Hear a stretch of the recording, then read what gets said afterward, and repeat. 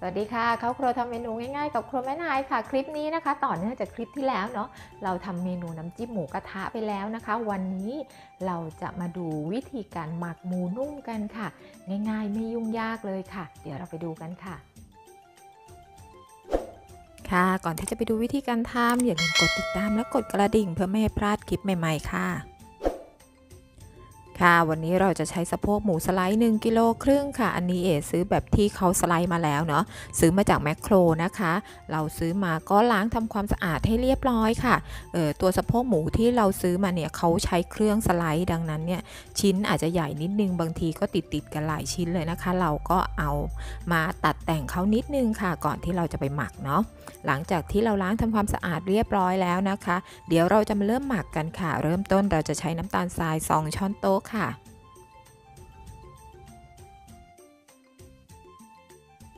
ตามด้วยผงปรุงรสนะคะ 2 ช้อนโต๊ะค่ะ อันนี้เป็นผงปรุงรสรสหมูเนาะ เพื่อนๆมีรสไก่ก็สามารถใช้ได้เหมือนกันนะคะ แป้งมันอีก 2 ช้อนโต๊ะค่ะ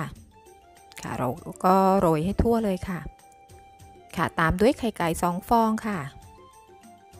ค่ะแล้วก็ตามด้วยซอสหอยนางรมนะคะ 3 ช้อนโต๊ะค่ะ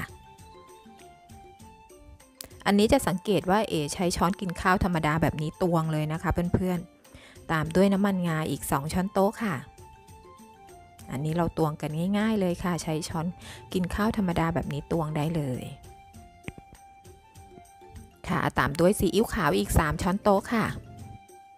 ค่ะสำหรับสูตรนี้หมักออกมาแล้วหมูจะเนื้อหมูจะนุ่มกำลังดีนะคะ เหมาะสำหรับทำหมูกระทะ หรือว่าจะเอาไปทำสุกี้ก็ได้ค่ะ หรือว่าจะเอาไปทำเออรัดหน้าหรือว่าไปผัดก็ได้นะคะ แล้วก็ตัวสูตรเนี่ยเราไม่ได้ใส่สารเสริมด้วยนะคะ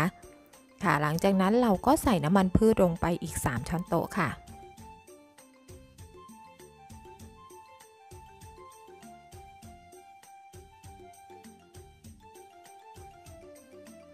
ค่ะ หลังจากนั้นนะคะเราก็โรยด้วยงาขาวคั่วค่ะ อันนี้ก็คั่วให้หอมเลยนะคะ เราจะใส่ประมาณ 2 ช้อนโต๊ะค่ะในสูตรนะคะ หรือว่าเพื่อนๆจะใส่มากกว่านี้ก็ได้ค่ะ หลังจากนั้นเราก็คลุกเคล้าให้เข้ากันค่ะ ค่ะ เราก็คลุกเคล้านะคะ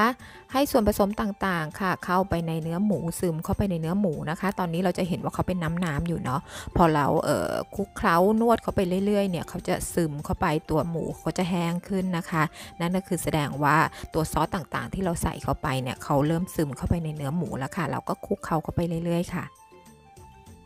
ค่ะสำหรับเพื่อนๆท่านใดนะคะ ที่อยากให้หมูเขานุ่มมากขึ้นอีกนะคะ สามารถเติมน้ำสับปะรดเนาะเราซื้อสับปะรดมาเป็นชิ้นนี่แหละค่ะแล้วคั้นเอาแต่น้ำสักประมาณ 1 ช้อนโต๊ะก็ได้ ใส่ลงไปนะคะ อย่าใส่มากเกินไปเนื้อเขาจะเนื้อเขาจะยุ่ยนะคะค่ะก็เสร็จแล้วล่ะค่ะสำหรับการหมักหมูนุ่มหลังจากนั้นเรานำไปแช่ตู้เย็นประมาณ 4 ชั่วโมงหรือข้ามคืนนะคะ ค่ะ ถ้าแช่ข้ามคืนนะคะ ก็ใช้พลาสติกแรปนะคะคลุมให้เรียบร้อยหรือใส่ถุงพลาสติกก็ได้ เพื่อไม่ให้เนื้อหมูของเราแห้งค่ะค่ะก็เสร็จแล้วล่ะค่ะสำหรับเมนูวิธีการหมักหมูนุ่มนะคะ หวังว่าจะถูกใจเพื่อนๆนะคะ สามารถนำไปประยุกต์ได้หลายเมนูเลยค่ะ ไม่ว่าจะเป็นหมูกระทะเนื้อสุกี้ยากิหรือว่าราดหน้านะคะทำเก็บใส่ภาชนะเอาไว้ใส่ตู้เย็นไว้ทานได้หลายวันเลยค่ะ ช่วงนี้กักตัวเนาะ ค่ะ ก็ถ้าเพื่อนๆชอบคลิปนี้นะคะ อย่าลืมกดติดตามและกดกระดิ่ง เพื่อเป็นกำลังใจให้การทำคลิปใหม่ๆต่อไปนะคะสำหรับคลิปนี้ขอบคุณและสวัสดีค่ะ เจอกันคลิปหน้าค่ะ